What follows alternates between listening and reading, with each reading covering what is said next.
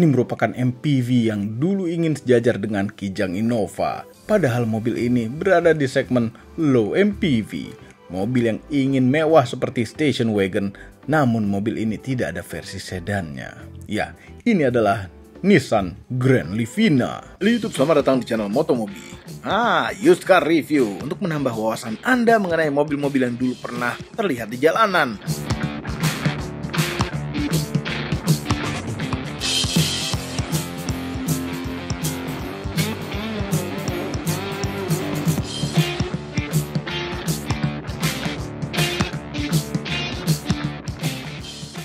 Nissan Grand Livina merupakan platform dari Nissan Note generasi pertama.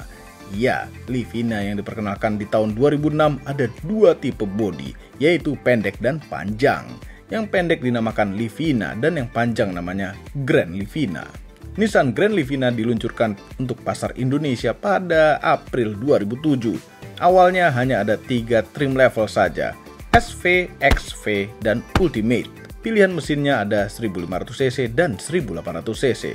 Ditawarkan juga dengan pilihan mesin manual dan otomatis.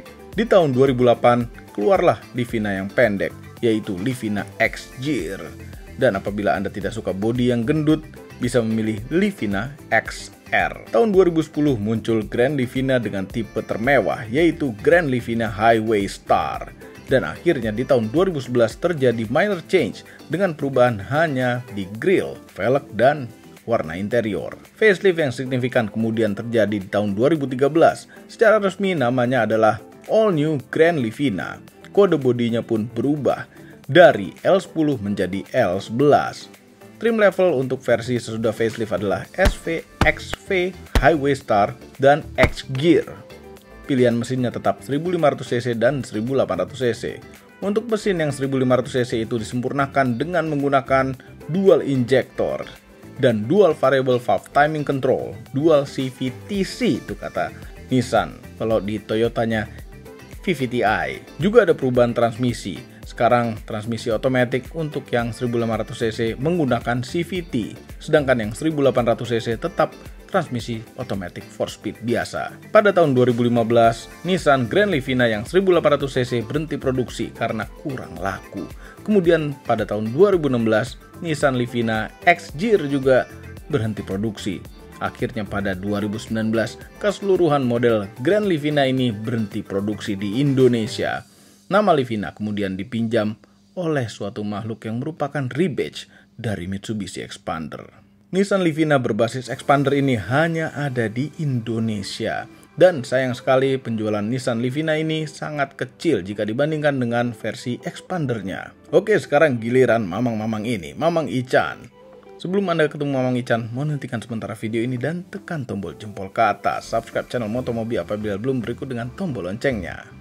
Grand Livina, yes, ini adalah salah satu LMPV yang berformat station wagon selain Mobilio, tapi ini lebih spesial, lebih kelihatan station wagon. Why? Karena di sini, ha, kap mesinnya itu paling panjang, bonnet itu paling panjang dari semua LMPV yang ada di Indonesia, termasuk Mobilio juga masih kalah bonetnya, makanya dia terlihat seperti sedan, terlihat seperti station wagon di bagian depannya. Yes, ini adalah tipe yang faceliftnya L11, makanya dia punya headlamp yang lumayan agak rumit. Kalau dilihat kayak gini, uh rumit banget, padahal dia masih halogen. Nah, yang sebelumnya, yang L10, dia lebih simple, dan juga kalau L11 dia sudah memisah antara lampu jauh dan lampu dekatnya sudah terpisah, sedangkan yang awal-awal itu masih menyatu. Terus grillnya juga nggak lebay, nggak banyak krom-kroman. Di sini ada piano black dan ada V-motion dari Nissan. Ya sudah ada terlihat di sini.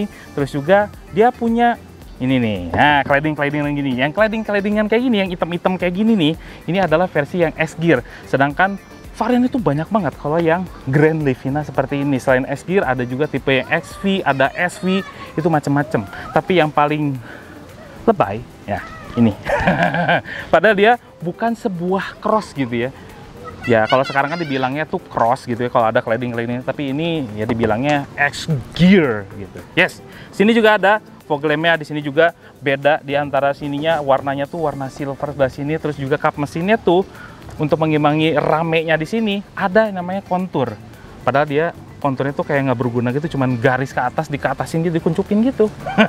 Terus juga ada dua buah kecerutan. Nah, panjangnya dia empat setengah meter, tingginya adalah 1,6 meter, termasuk roof railnya juga lebarnya 1,7 meter dengan wheelbase 2600 mm. Sekarang kita cek mesinnya. Nah, Livina itu ada dua mesin. Ada yang versi 1500 cc, ada versi yang 1800 cc. Yang pertama kali keluar itu banyak yang 1800 cc-nya. Tapi yang akhir-akhir semakin di sini yang modelnya udah seperti ini banyaknya orang milih yang 1500 cc. Karena apa? Karena lebih mu murah. nah, ini yang 1500 cc HR15DE dia punya keluaran tenaga sekitar 107 horsepower dan juga torsinya adalah 148 Nm yang disalurkan ke roda depan dan juga transmisinya ada yang manual, ada juga versi yang metiknya. Yang L11 seperti ini yang facelift dia udah pakai CVT sedangkan yang sebelumnya masih versi torque converter biasa. Nah, ada juga versi yang 1800 cc-nya, pakai MR18DE. Dia punya keluaran tenaga sekitar 126 horsepower dan juga torsinya adalah 174 Nm. Nah, di awal-awal banyak yang milih mesin 1800 cc. Kenapa? Dia hampir seperti Kijang Innova. Padahal dia kan kelasnya LMPV. Nah, nggak bisa juga nyaingin Kijang karena dia beda, leather frame gitu ya. Terus juga ya udahlah pokoknya berbeda. Ya Kijang kan eh 2000, Innova 2000, beda beda. Nah, tapi yang 1500-nya banyak komplain karena dia mesinnya ngelitik itu aja. Ada beberapa yang komplain seperti itu. Tapi kalau diisiin Pertamax, kayaknya jarang juga sih yang komplain kayak gitu. Emang sih kalau Grand Livina itu station wagon banget. Nah, coba lihat. Mobilio Avanza Xenia semakin ke belakang itu semakin nungging, sloping roofnya semakin ke atas, sedangkan Livina itu semakin menurun ya, ya station wagon banget kan. Udah gitu, dia punya desain yang keren. Di sebelah pinggirnya ada kayak pinggangnya. Kalau manusia itu ada pinggangnya di sebelah sini. Terus juga lampu sennya di sini, di over fender. Sedangkan di bagian spion itu nggak ada lampu sen. Padahal ini tipe yang S gear gitu ya. Nah, terus juga dia punya nah, roof rail roof railnya itu dari besi bukan odong-odong gitu ya tuh kan besi kan jadi ini bisa digunakan sebagaimana mestinya. Velgnya dia pakai 19550 profilnya dengan ring 16 palang 6 dan masih pakai baut 4 nah yang saya nggak suka dari sebuah X gear gitu ya ini preferensi pribadi. Karena ini tambahan daging hitam-hitam ini sungguh terlalu besar banget. Sehingga si bannya itu masuk ke dalam. Makanya kalau nggak suka yang cladding claddingan kayak gini, ini sebetulnya nggak membuat dia semakin gagah? Enggak sih karena ya masih sama aja ground clearance-nya juga nggak berbeda jauh dengan yang Livina yang biasa. Cuma beda 5 mm kalau nggak salah. Jadi kalau nggak suka ini pilih tipe yang lain. Ada XV, SV, Autech sama itu apa? Satu lagi? Uh, uh, Ultimate. Uh, uh, uh, Highway Star. Ya sekarang kita ke belakang Tuh kan. Livina tuh kalau dari segi eksterior itu memang nggak ada komplain, bagus semuanya gitu ya, proporsional, station wagon banget, nggak seperti LMPV di zamannya gitu. Kalau sekarang kan uh, jadi Livina tuh berubah menjadi SUV yang ke MPV, eh kebalik, MPV yang ke SUV SUV-an kalau sekarang. Tapi ini ini lebih keren menurut saya, sayang sekali. Nissan tuh jadi seperti itu, ya tahulah itu urusan Nissan. Nah, kenapa saya sebut begitu? Karena lihat, wipernya aja bukan wiper besi gitu ya. Ini mas, udah dikasih cover, udah dari defogger, ada turback lampnya, ada kecerutannya di sebelah sini. Dan di sini bentuk lampu belakang itu walaupun ini masih pakai halogen itu bagus semua gitu loh bentuk-bentuknya, proporsional. Terus juga ada kamera mundur yang tipe Highway Star sebelah sini, nemplek, pluk gitu ya. Terus ini juga ada emblem-emblemnya X gear terus juga di sini ada tambahan daging lagi yang agak besar lah kalau untuk X gear. Di sini juga ada reflektornya. Dan juga seperti biasa Nissan gitu pada saat itu paling seneng mengekspos lampu eh lampu. Mengekspos handle bagasi yang lain tuh disumput-sumputin. Kalau ini malah diekspos. Aneh sekali. Cek bagasinya. Nah kita lihat bagasinya. Iya tidak ada apa-apanya. Jadi bagasinya Grand Livina kalau seven seaternya diaktifkan semua full seater gitu ya ini kecil sekali. Bahkan untuk galon pun kayaknya hanya muat 1, 2, 3 3 galon yang dalam kondisi berdiri. Ini bener-bener nggak ada apa-apanya lah kalau sama mobil Weden bukannya gua ini Honda banget ya? Enggak tapi memang faktanya seperti itu. Tapi kalau masih kurang ini kelebihannya Livina baru. Yes dia flat four. Kalau Mobilio nggak bisa kayak gini ini lebihnya flat four jadi bisa ngangkut kasur di sini buat anak-anak. Ini dia menang telak dari semua LMPV yang ada di Indonesia. Desainnya paling mewah, paling proper dan paling elegan. Tapi kalau saya bilang ini sedikit memboringkan. Ya bayangannya kayak muka saya aja gitu ya. Itu mewah tapi boring gitu. Ya tapi terserah sih. nah ini juga dia punya varian-varian yang ada beige-nya, ada hitamnya. Kalau yang hitam seperti ini full black itu pilihlah yang S gear itu seperti kayak sporty sporty yang kalau di expander itu tipe sport gitu ya. Kalau yang beige itu tipe yang ultimate kayak gitu. Udah ada di Nissan Livina gitu pada saat itu. Nah terus juga dia punya dual airbag. Materialnya memang agak sedikit ngelenyok gitu ya ke bagian depan sebelah sini dan tidak ada yang namanya soft touch sama sekali. Tapi desainnya tuh mewah. Nah di sini glove boxnya gede terus juga di sini ada cup holder 2 di sebelah sini. Di trim pintunya tidak bisa memuat botol minuman. Ya agak terlalu tipis lah untuk buat uh, nyimpen-nyimpen lap-lapan dan uh, buku-bukuan lah kalau di trim pintu. Tapi seneng ya dia mewah sekali. Karena di sini walaupun agak keras di bagian pinggirnya tapi di bagian sini ada lipitan-lipitan kulit kayak gitu loh. Jadi semakin mewah dipadukan dengan silver gitu ya untuk di trim untuk buka jendelanya. Di power window-nya juga auto up auto down untuk di bagian driver saja, tapi yang lain itu enggak auto. Nah, di sini kita bahas center clusternya. Di sini juga ada kisi AC-nya. Yang kisi AC di bagian tengah dia kotak-kotak, sekarang yang pinggir kiri kanan dia bulat-bulat. nah, di sini juga ada audio tip gitu ya. Zaman kapan itu? Ini namanya apa sih? Head unit. Nah, head unitnya dia sudah touchscreen untuk yang L11 ini yang dipakai oleh X Gear. Oh iya, dia bukan pakai USB, dia masih SD card sebelah sini. Belum ada USB ya? Iya belum ada. Ini head unitnya belum ada nih. Masih pakai SD card sebelah sini. Terus dia punya AC yang cukup lengkap karena bisa semburan itu bisa ke kaki dan ya nggak ada sih front defoggernya sih nggak ada sih. Cuman sampai ke kaki saja tapi ini semburannya kencang banget karena dia tidak ada double blower yang memaksa untuk blowernya harus kencang banget karena harus bisa mencapai ke row ketiga. Ini kesatunya aja kencang banget nih. terus juga di sini ada power socket 12 volt, terus di sini juga ada untuk transmisi maticnya. Ya biasa sih. Oke lah, tapi mewah loh untuk sebuah LMPV di sini udah ada krom-kroman. Terus juga di sebelah sini handbrake-nya masih manual di bagian tengah dan letaknya tuh proporsional, enak untuk ditarik-tarik gitu. Di sini juga ada tempat penyimpanan terbuka. Nah, di atas sudah ada sun visor.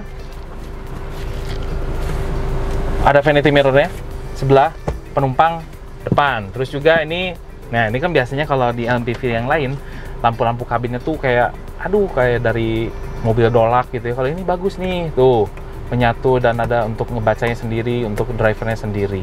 Dipisah. Terus di sini kita punya mode night and day. Speedometernya cukup lengkap. Di sini ada dua main cluster speedometernya dan juga ada takometernya di bagian tengahnya masih pakai dot kalkulator ini sih. Ya kayak kalkulator angka-angkanya itu bukan dot matrix ada odometer, ada fuel gauge, ada temperatur dan ada indikator transmisi. Dah, that's it. Trip A, trip B sama average bahan bakar sama jarak tempuh bahan bakar. That's it. Dah, sama digital clock. Nah, satu lagi kursinya saya suka kulit dan juga empuk banget. Kalau perjalanan jauh nggak akan pegel. Yuk sekarang kita ke belakang. Kalau di row kedua sih ini berbeda cerita ya, karena memang Livina itu memang mewah sekali, material-materialnya tuh mewah, kulit, tapi duduknya tuh kayak yang keras gitu, lebih enak di Mobilio dan kesannya tuh kayak yang sempit di Nissan Grand Livina untuk di bagian row keduanya. Terus juga dia nggak ada double blower kan, makanya di sini ada blower di tengah ini. Sebetulnya cuma fan aja yang mengarahkan ular aliran udara dingin yang disemburkan di bagian ke bagian belakang. Dan ini mendinginkan selangkangan aja. nah di sini juga kita dapat TV. Nah kita dapat TV cukup besar. Nah kalau buat anak-anak cukup terhibur. Terus juga di sini juga ada armrest, ada cup holdernya juga. Jadi ada dua di sini dan satu di bagian sini. Jadi kalau mau dinginin minuman itu ditaruh di sini aja. Nah di juga di sini ada gundukan lumayan gede. untuk di bagian tengah apalagi lebih keras lagi joknya karena di tengah tuh kayak apa ya kayak ada jendulan sendiri gitu loh. Jadi proporsional hanya untuk dua orang bagian belakang. Dah di Livina tidak terlalu mengesankan. Enaknya di bagian row satu. Nih nggak tahu nih ceritanya kalau ke row ketiga yuk. Yang saya nggak suka dari Grand Livina itu kalau masuk ke row ketiga. Why? Karena kita harus mengangkat ini nih nih nih lihat nih. Ini ini berat sekali. Eh. Eh. Hah, sakit. Nah kadang-kadang jempol kita juga agak-agak kesleo gitu ya saking beratnya. Yuk sekarang kita masuk row 3 seperti apa rasanya? Nah ini adalah posisi tadi saya duduk gitu ya. Jadi oke okay, mentok. Mentok nih lihat nih. Tuh mentok. Terus juga kaki kita tuh nggak bisa selanjoran ke bawah si kursi di row keduanya jadi ini lebih lega Mobilio sih. Nah, di sini kita dapat dua cup holder sebelah kiri, dua cup holder di sebelah kanan. That's it, nggak ada power socket, tapi kita disediakan safety belt dan juga ini senangnya dirapih gitu ya. Kalau Nissan tuh rapi-rapi di sini dikasih plastik-plastikan, nggak nggak telanjang gitu. Headroom, headroom, headroom, headroom lupa. Hampir mentok. AC-nya nggak begitu kerasa sampai ke belakang. ini yang kedua ya di setnya ya, di satu, di satu nggak kena ke belakang, makanya harus di set kedua nih kalau siang-siang apalagi lebih panas lagi nih pasti. Nah ini kekurangannya dari Nissan Grand Livina.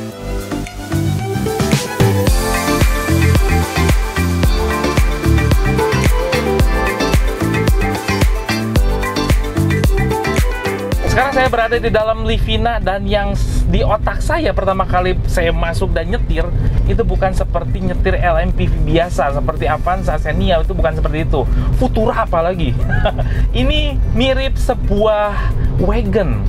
Yes, karena ini adalah salah satu format LMPV yang agak-agak kewagonan selain dari Mobilio. Makanya dia nyaman Terus udah gitu, Livina dia punya kelebihan. Desain-desain dalamnya, interiornya tuh membuat kita nyaman karena dia mewah di zamannya.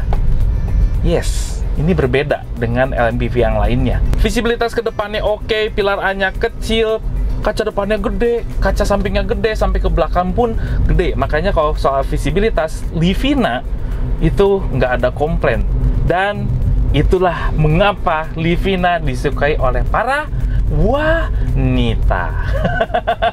Karena kita bisa ngeliat ke mana-mana. Suspensi Livina itu paling nyaman dari semua LMPV bahkan sebuah Mobilio pun kalah nyaman sama ini yang sama-sama formatnya wagon ya. Kalau LMPV yang lain itu bener-bener ya agak-agak agak minibus gitu ya. Kalau ini benar-benar nyaman benar-benar sedan. Makanya saya agak-agak aneh. Waktu Livina akhirnya memutuskan dengan desain expander yang sedikit-sedikit ke SUV-an yang sekarang itu sayang sekali. Padahal dia sudah legend yang namanya station wagon seperti ini dipakainya enak nyaman. Ya udahlah. Itu keputusan Nissan.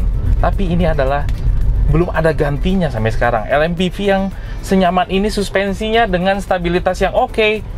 Livina memang keren ya Walaupun nyaman, Livina gitu ya, empuk segala macamnya, tapi dia tidak bisa menandingi handlingnya dari Mobilio. Yes, Mobilio adalah rajanya handling di sebuah LMPV. Ini walaupun keren juga handlingnya dibandingkan yang ya ya duo kembar itu gitu ya. Ini masih agak-agak mikir gitu ya, kiri kanan. Kalau Mobilio tuh kiri kanan itu langsung mikir, ayo kiri gitu ya. Kalau ini mau bener nih kiri, ya udah kiri gitu. Walaupun dia agak sharp gitu ya, sharp tapi tidak se-sharp dari Mobilio handlingnya. Mesin yang dipakai dia kan HR15DE. Dia punya keluaran tenaga sekitar 106 PS dan juga torsinya adalah 148 Nm. Di combine sama CVT karena yang L11 seperti ini yang facelift dia sudah pakai transmisi CVT sedangkan yang sebelumnya dia masih pakai torque converter. Rasanya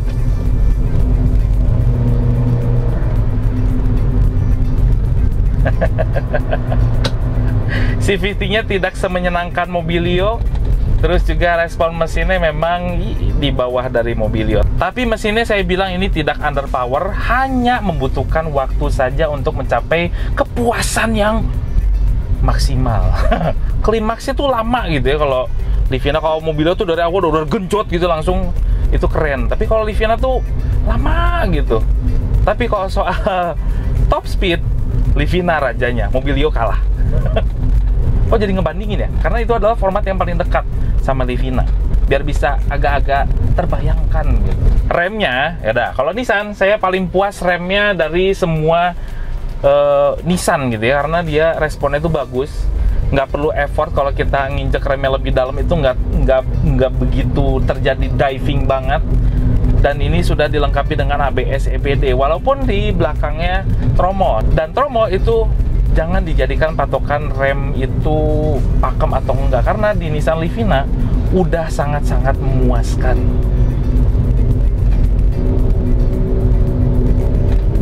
Kekerapan kabinnya saya bilang hampir mirip dengan LMPV yang lain.